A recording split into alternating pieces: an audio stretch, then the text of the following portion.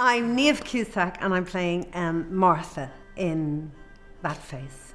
Uh, I'm Kasper Hilton-Hille. I'm playing Henry. He's, he's very passionate, but that passion, I think, doesn't necessarily serve him in the long run. I think he cares. He's very caring and loyal and kind of, he believes very much that he's doing the right thing.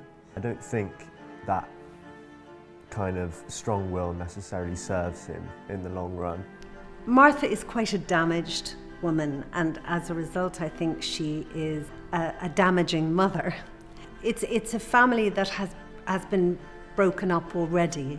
The relationship she has with both her children is um, pretty dysfunctional, but I think the, the person that she loves the most, and maybe, possibly, she damages the most, is Henry. All the people in this play are witty, it seems to me. Mm. There's a lot of wit in the play, and um, they use wit to protect themselves and to hurt each other. The chaos that an addict can reap on the people she loves most.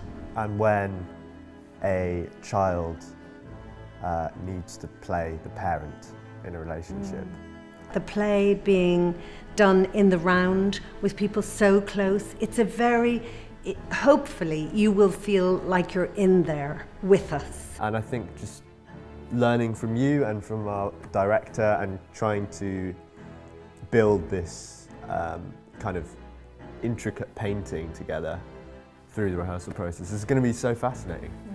Josh's take on it is I think there's a lot more empathy and compassion mm. in the way he sees the play. Mm. And I think Josh is really keen to, to see what's underneath and the pain that's underneath.